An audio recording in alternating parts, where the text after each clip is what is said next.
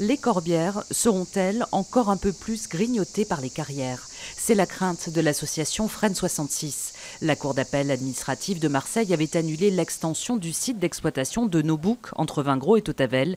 Mais début juin, le Conseil d'État donne un tout autre avis. Drôle de rebondissement, euh, suite assez euh, pénible.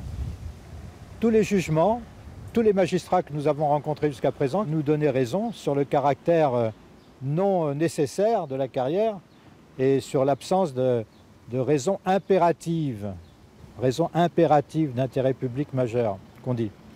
Et là, en réunissant deux chambres du Conseil d'État, hop, nouveau calcul, cela devient d'un intérêt public majeur.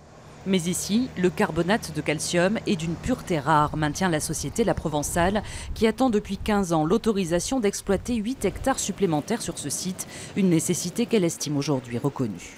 Le Conseil d'État, dans sa dernière décision, et qui est la dernière de la, série, euh, a redemandé à la, Cour administrative d'appel euh, de, Marseille de, rejuger, considérant qu'elle n'avait pas suffisamment euh, considéré l'intérêt majeur de notre ressource sociale et économique dans la région. Ce sont 400 emplois indirects qui viennent s'adosser à nos 85 emplois directs qui sont répartis entre les équipes de carrière, les installations de carrière et l'usine de transformation qui est à Espira de la Glie. Un chantage à l'emploi inacceptable face à un enjeu écologique, dénonce Fren 66. L'association n'a pas dit son dernier mot. Elle compte défendre l'avenir de 24 espèces protégées présentes sur le site.